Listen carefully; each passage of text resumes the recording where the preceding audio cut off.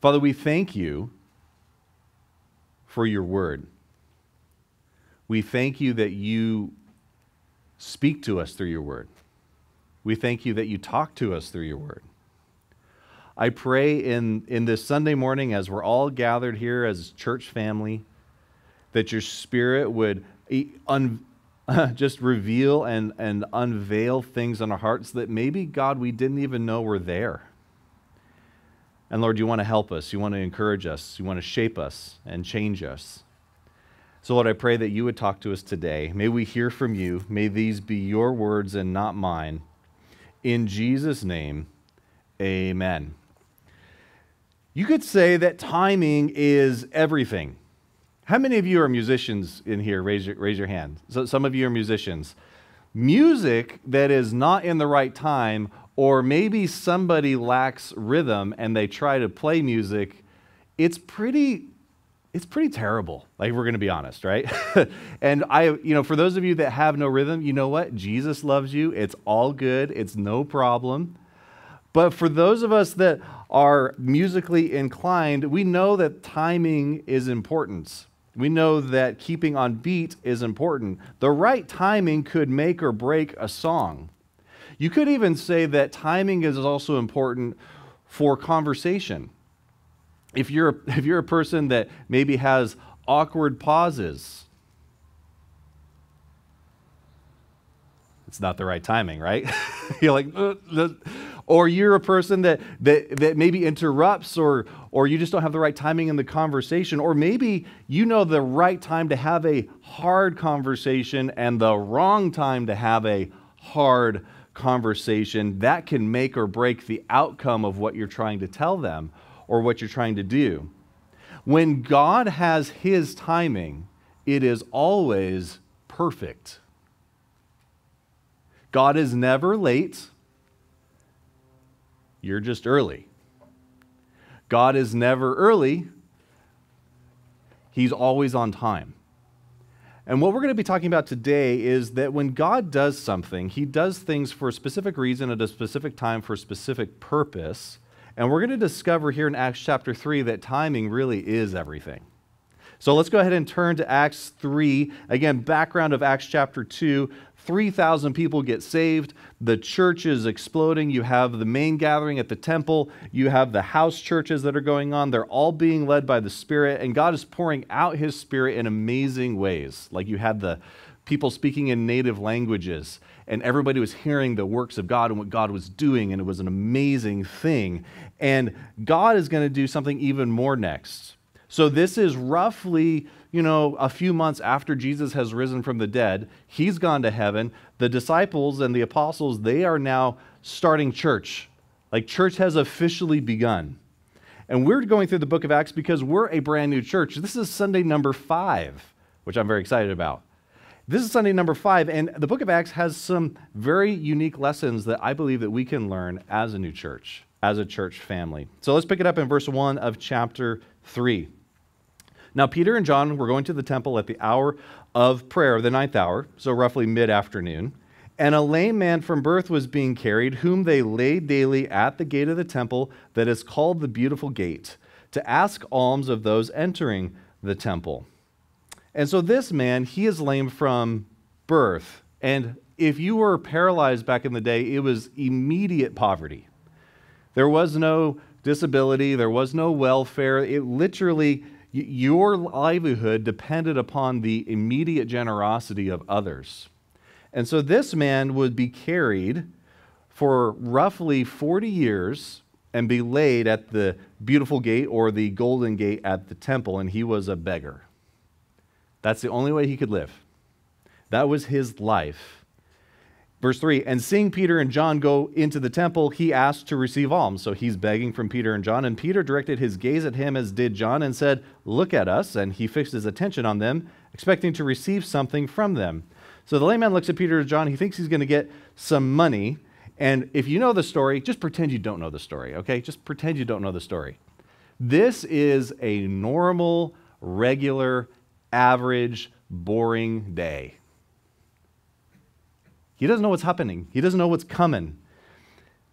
God does the miraculous, on regular, boring days. It's only after the miracle does the day become special. Isn't that interesting? This man was been here for 40 years, and it's just one more, it's just one more asking for money. It's just one more day. It's just another day like every other day, but today is going to be different. Verse 6 Peter said, I have no silver and gold, but what I do have, what did Peter have? Well, he had the Spirit, he had Jesus. He said, I give to you, in the name of Jesus Christ of Nazareth, rise up and walk. Now, I don't know about you, but that's really gutsy. Like, seriously, just think about it. If you, let's say that you go into a hospital and you just go up to some random person and, you, and they're paralyzed from the waist down, and you say, In the name of Jesus Christ, get up and walk. Like, that's kind of like, what if nothing happens, right? what if nothing goes down? What if, what if God doesn't move? See, this is an amazing step of faith. Peter doesn't have money, but what does he have? He has the power of God. I would rather say, Silver and gold have I none, but I have Jesus. And Jesus I give to you. The church is so much better off to say, you know what, we don't have any money, but we have Jesus.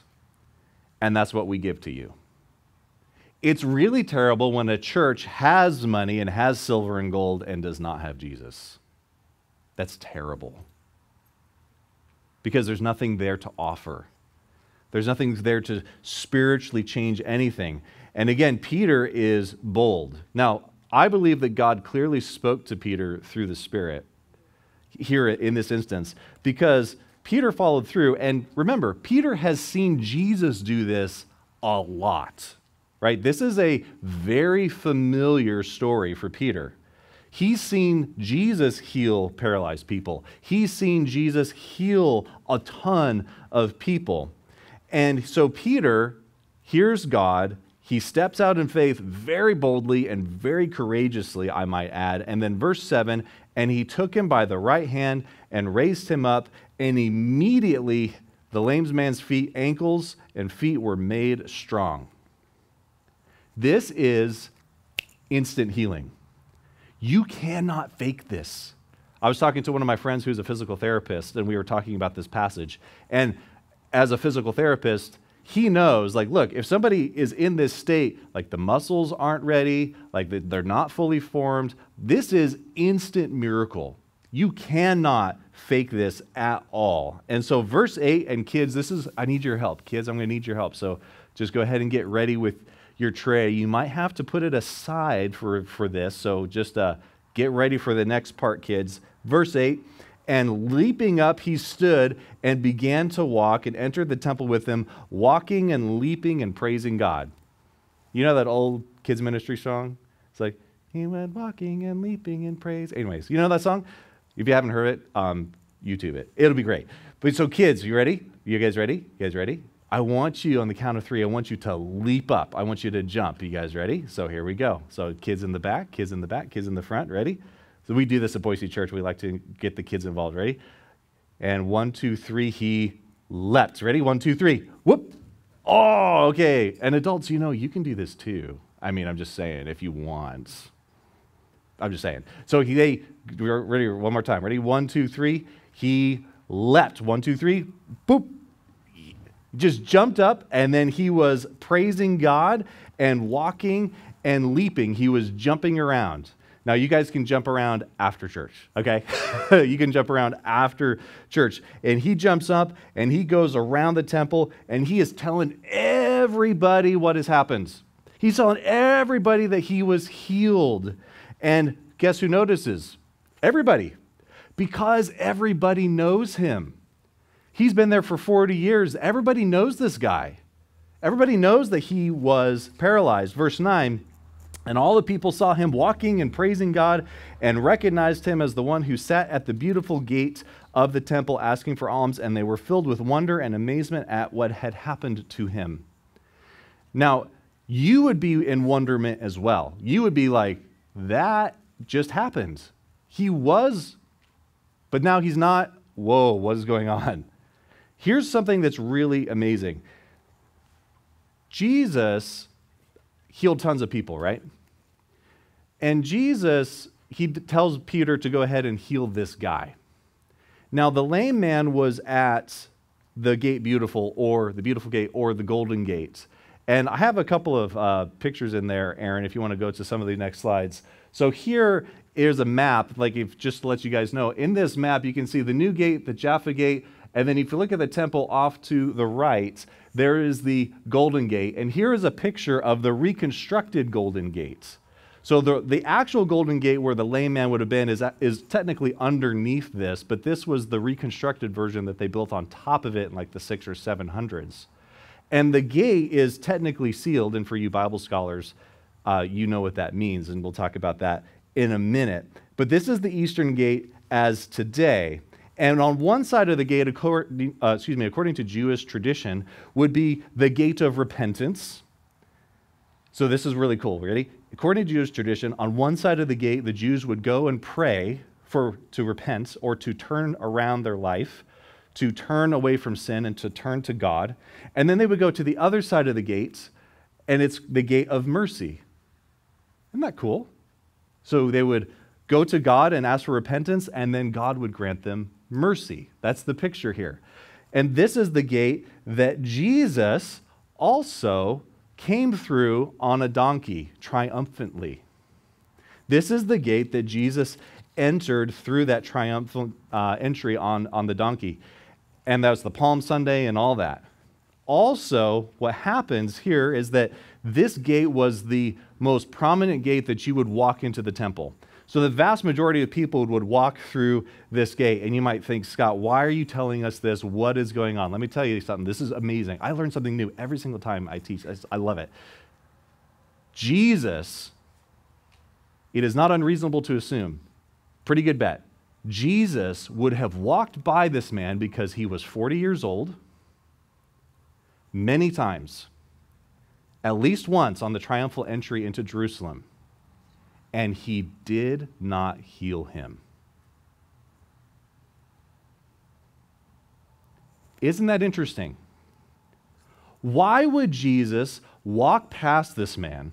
Why would Jesus walk past him and not heal him? May I submit to you that the works of God in this man's life has a particular timing to it.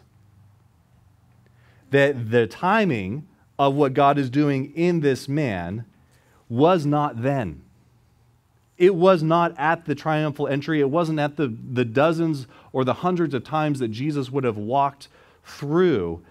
I know that Jesus would not, he didn't heal him then, but you know what? God healed him now. And do you know why? I, I honestly kind of don't know, but I have a little inkling. I have a little inkling. It's because God's timing is perfect. God's timing is perfect. God does heal people. We believe that at Boise Church. I've seen it. We've seen it. God does do that. And when God heals, we want to praise Him for it. And when God says no, or maybe not yet to a healing, even though that it's hard, we still praise Him we still praise him for what he's doing because we say the words, God, you know best. And, and even though that we pray, and I would just encourage you guys, don't stop praying for people. Pray that God would move. Pray that God would do an amazing thing in their life. But God's timing might be a little different from ours. And for the Christian, this is the beautiful thing. If you're a Christian, if you're not healed now on earth, guaranteed that when you die, and the Bible says when you're absent from the body, you are with God, you are present with God, you are healed right then and there. So whether you are healed here on earth or whether you're healed when you go to heaven ultimately, that's what happens. It was not the right time for this lame man to be healed until the moment that Peter and John were there. And Peter and John are going to do something pretty awesome. God is going to do some amazing things through this man.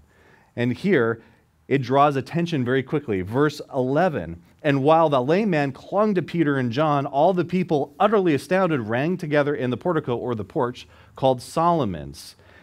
And when Peter saw it, he addressed the temple, he addressed the people, Men of Israel, why do you wonder at this? And why do you stare at us as though by our own power or piety we have made him walk? Peter points out something very, very important. Guys, it's not us, it's God, right? It's not because we're super religious, it's not because we have the power inside of us. It's not us, it's Jesus in us. It's not you when God uses you, it's God in you. What have you received that you have not been given, the Bible says? Whatever God has given you, it's for you. But remember, it's, it's from the Lord. So everything that we have is from God, and God uses us. Verse 13, and the God of Abraham, the God of Isaac, the God of Jacob, the God of our fathers, glorified his servant Jesus, whom you delivered over and denied in the presence of Pilate, and when he had, des- when he had decided to release him. And again, Peter is starting to preach about the Old Testament guys like, look, the God of our fathers, the, the Jewish fathers of the faith, that God that we all serve, he is telling you, I approve of Jesus. Jesus is the Messiah. Jesus is the hero. Verse 14, but you denied the holy and righteous one and asked for a murderer to be granted to you. That would have been Barabbas. So instead of the hero or the Messiah of the Jewish faith, they asked for a murderer. Verse 15, and you killed the author of life. Now, isn't that the most ironic verse you've ever read? You killed the author of life, whom God raised from the dead, and we are witnesses. Jesus rose from the dead, and we saw it. Verse 16, and his name, by faith in his name, the name of Jesus, has made this man strong, whom you see and know. And the faith that is through Jesus has given this man perfect health and in the presence of you all. It's not the, the faith in yourself, it's not the faith in faith. It is the faith in Jesus that has done this. And it took guts to say, you know, take him by the hand and pull him up and pray for him and to heal him. It took guts and faith, and God honored that. Verse 17 And now, brothers, I know that you acted in ignorance, as also did your rulers. But what God foretold by the mouth of all the prophets that this Christ would suffer, he thus fulfilled. In other words, Peter is saying, Look, we know you didn't know. We know you didn't understand. But God is trying to reach you that God predicted this would happen. God predicted that what would happen to Jesus did happen. Verse 19, one of my favorite verses in the entire Bible Repent, therefore, and turn back so that your sins may be blotted out. Actually, verse 20 is my favorite verse, but they go together. Uh, that times of refreshing may come from the presence of the Lord. Do you sometimes feel in your Christian walk just meh? Or maybe you're not a Christian. Maybe you're not, maybe you're just checking out this church thing and you're not really sure. And there is just something missing and you know it. There's something missing in your life and you can't put your finger on what it is.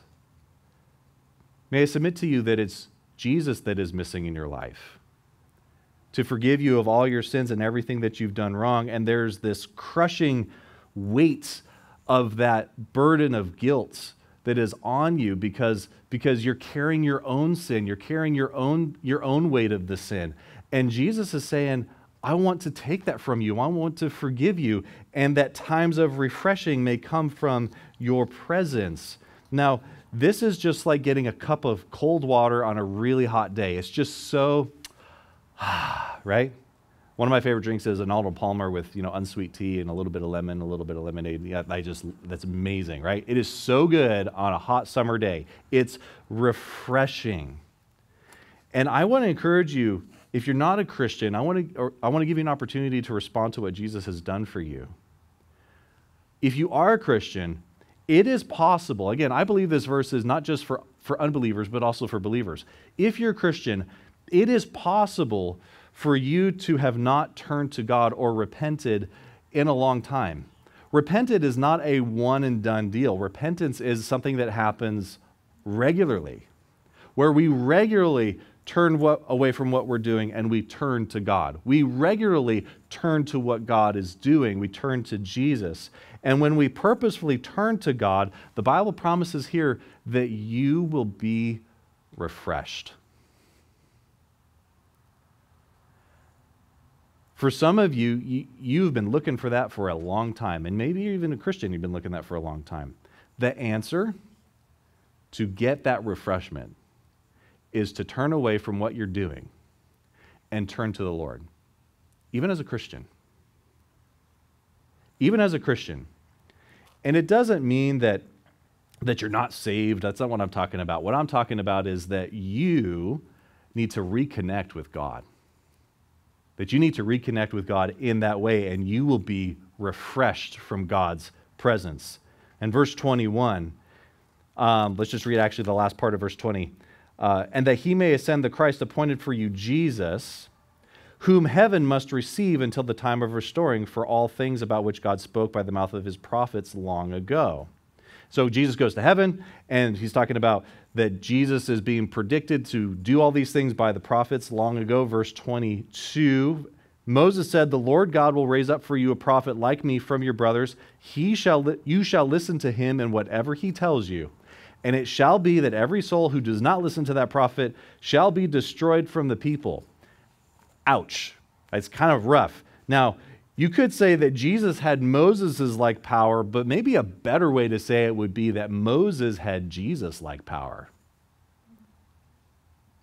See, Moses was, did an amazing, amazing thing. He did signs, miracles, he was a powerful messenger of God. But the Bible says that the prophet or the prophet, Jesus, we need to listen to him or be destroyed. Now, that might sound a little vindictive, and you might say, well, if, if God is going to destroy me if I don't turn to him, that sounds like I don't really have a choice, right? Like, sounds kind of vindictive and mean. And I don't think it's vindictive. I think this is what God is saying is like, this is the only way to escape death, and I'm trying to help you. this is the one way to do it. It's through Jesus, and I'm trying to help you. And that's why we need to listen to what Jesus had to say. Verse 24 And all the prophets who have spoken from Samuel and those who came after him proclaimed these days. So that's David, that's Jeremiah, that's Isaiah, that's Ezekiel, all that Jesus did. In the 20th century, a lot of you know this, but I have to bring it up because this passage talks a lot about prophecy and a lot about predictions of what Jesus did.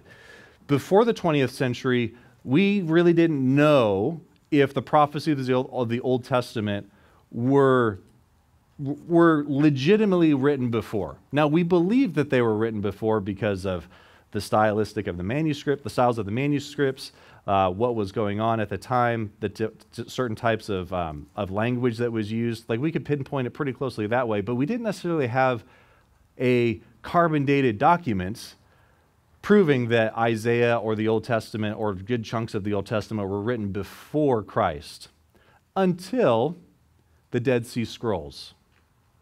Specifically, the Dead Sea Scrolls or the Great Isaiah Scroll. Here's a picture of it. This scroll is a near full copy of the book of Isaiah, and it was carbon dated to 125 BC. And what is in this scroll is what you have in your Bible. This is crazy. So, like, this is amazing because in Isaiah, you have probably the most proliferous amount of predictions of Jesus.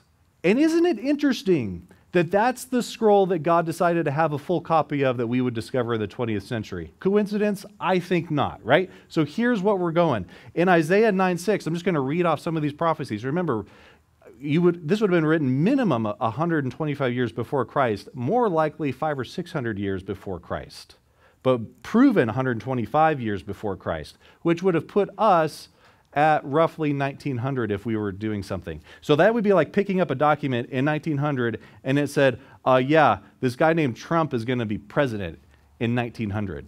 And we would be like, that's ridiculous until it actually happens. Here, Go through some of the Isaiah scrolls. Isaiah 9, uh, Isaiah uh, references. Isaiah 9 6.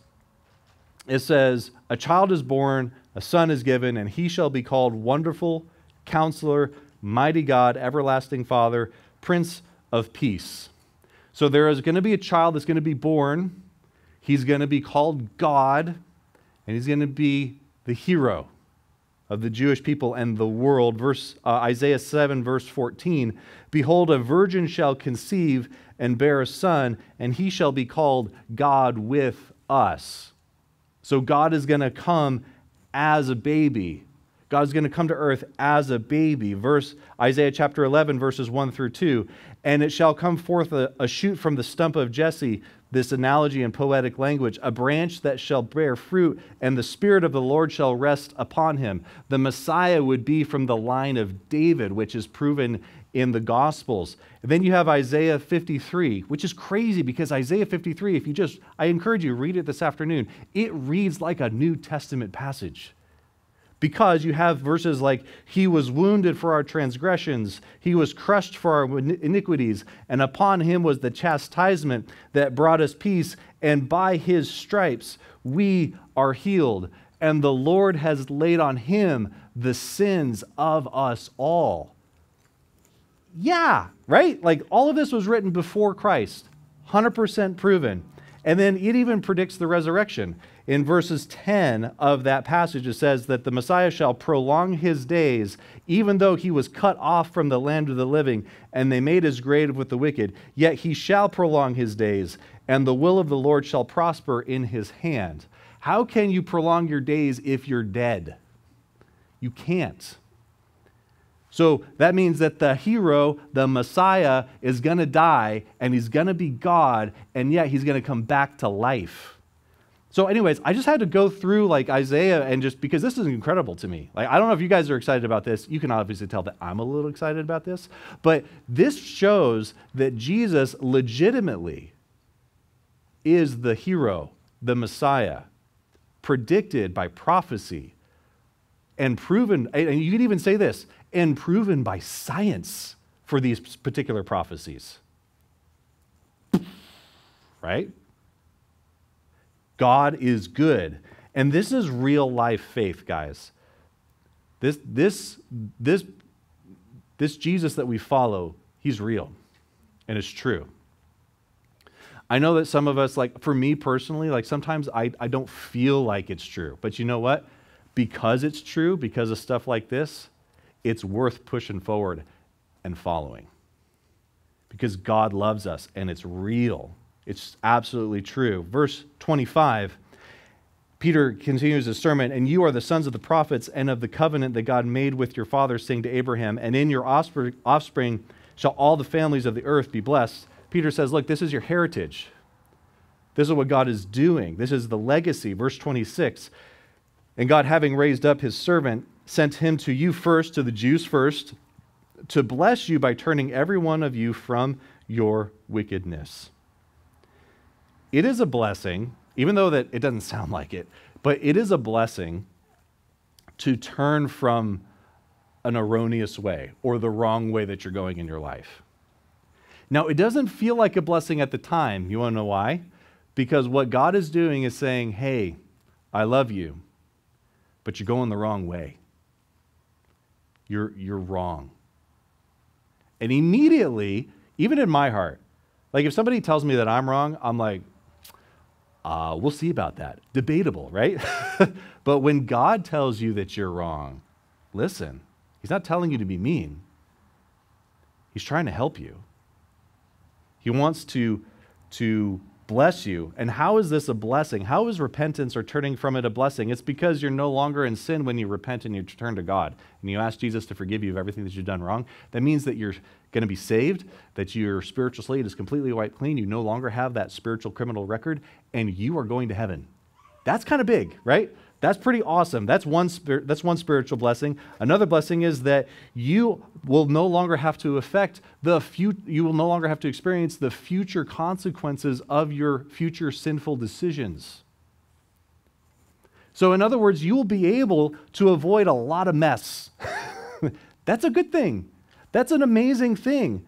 And when you turn away from the wrong and you turn to God in the right, the Bible says in this particular chapter, that you will be refreshed because you will be in God's presence. because you're turning your hearts to Him. And now you and God can interact. Sin was in the way, and now it's not anymore. And that's the blessing. You simply have to surrender to Him. You simply have to surrender to what God is doing in your life. It's hard. It's hard to say you're wrong.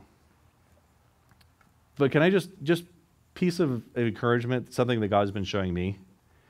It is so much better to not fight God when he tells you you're wrong. It's better just to say, "Okay, God, even if you don't understand it, you just need to say, "Okay, God, you're telling me it's wrong. Tell me what I need to do now." You just need to go with it. You just need to, because God loves you.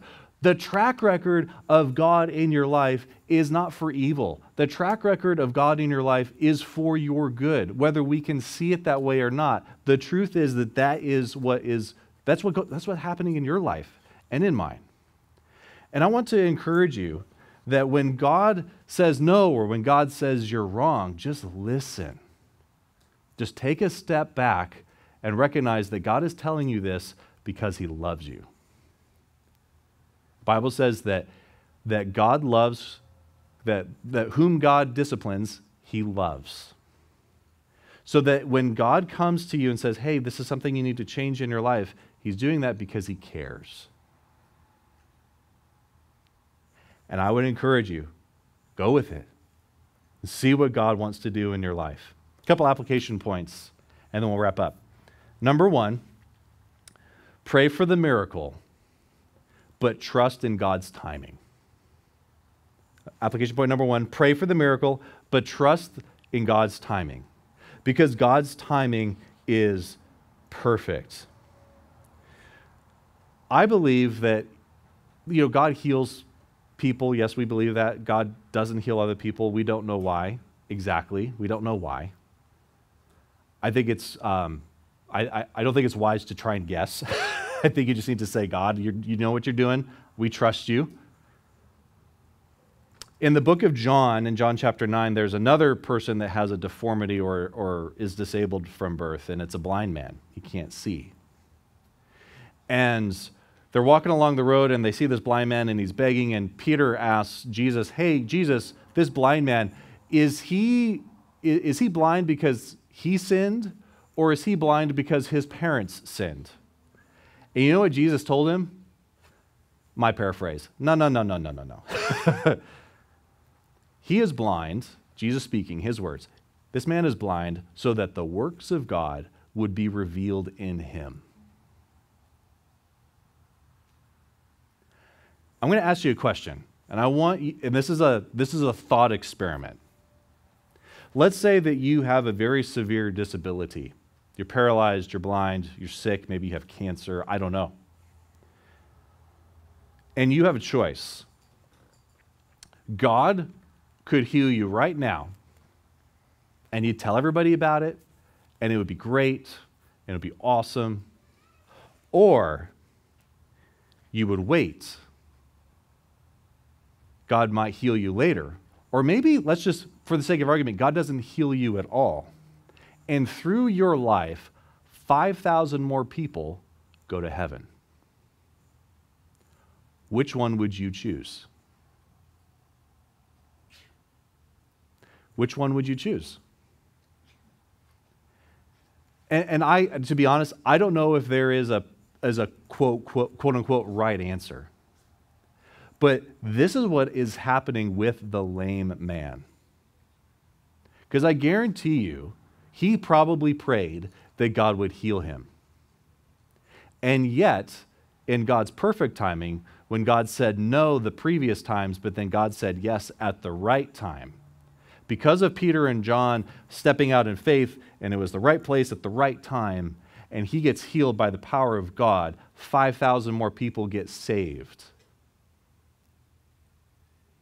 Was it worth it? I'm going to go in here and say yes.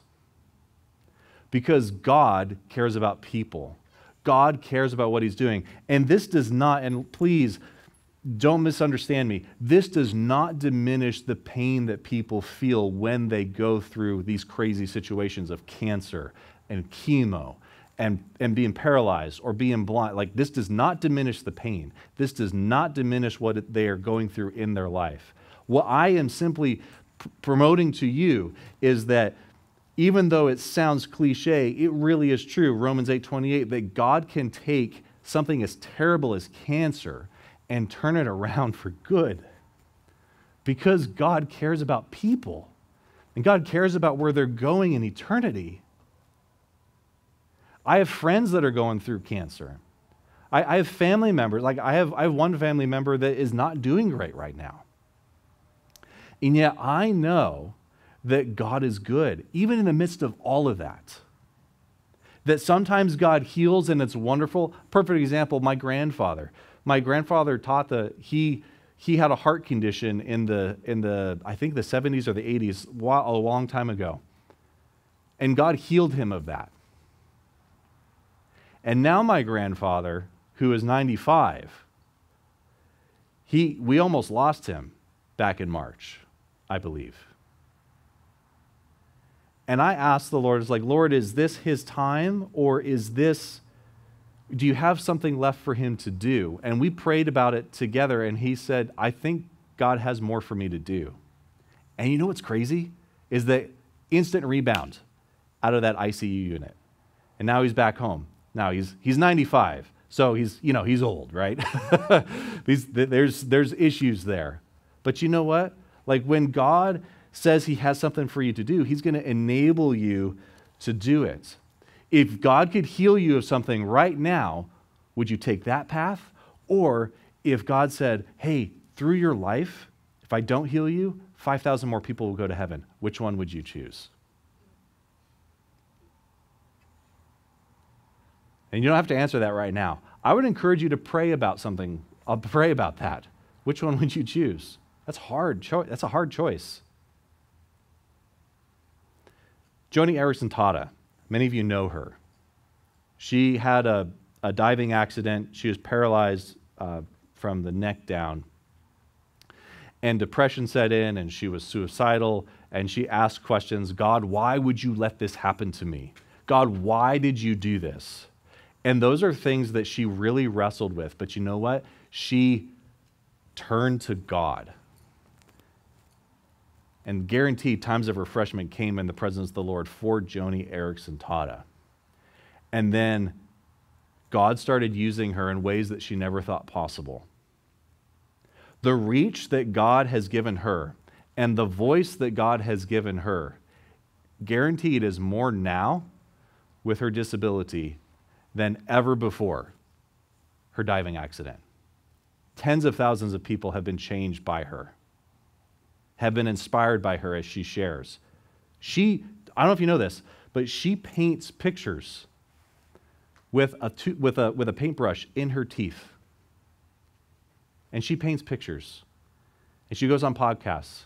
And she speaks. And she tells people that God is good. Like, how incredible is that? That Joni Eareckson Tada, like, God, God totally used the accidents. God took the evil or the bad and God used it for good.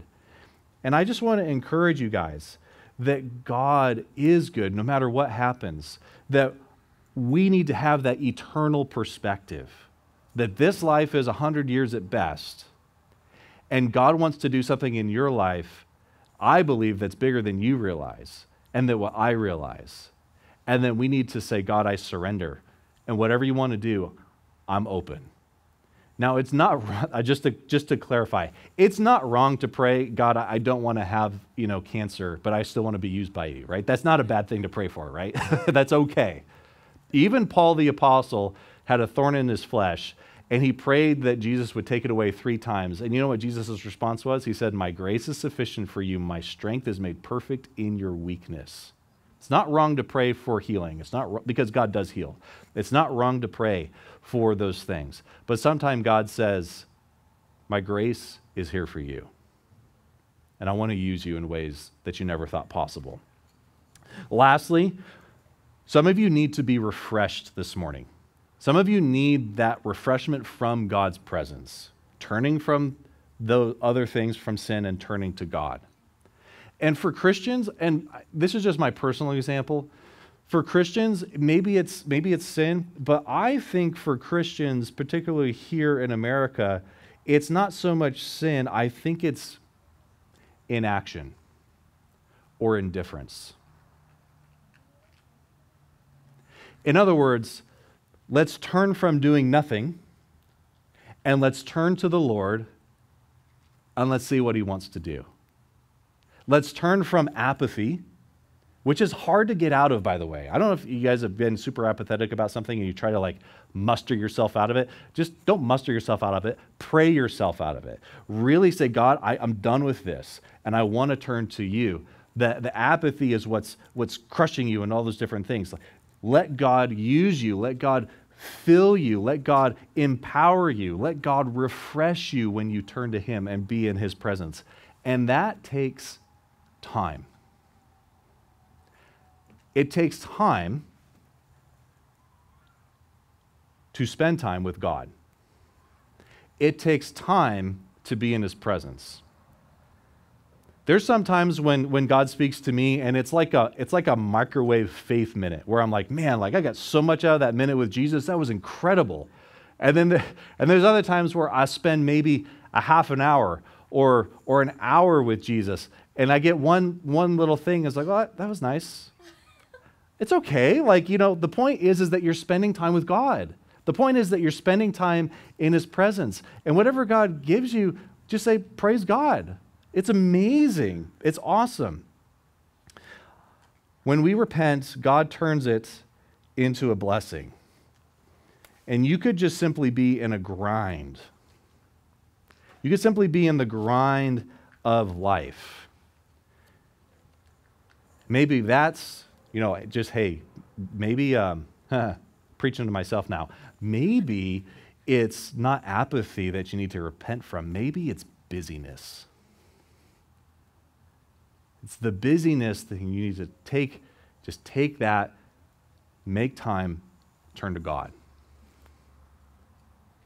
See, God wants to spend time with you and me. And I want to, I, I want to pray for all of us, myself included, because that last one hit me like a zinger. I want to pray for all of us that we have those times of refreshment from the Lord. So let's all stand. And let's pray together.